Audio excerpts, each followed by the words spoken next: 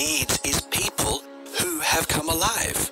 To quote from Howard Thurman, hunt this down in life. What makes me come alive? So often we spend so much time and energy trying to chase somebody else's idea of who we should be or what we should be doing.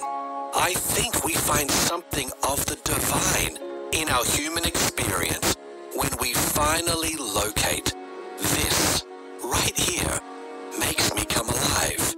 Chances are, right there, in that place, doing that thing, you are discovering something of the will of God for your life. Come alive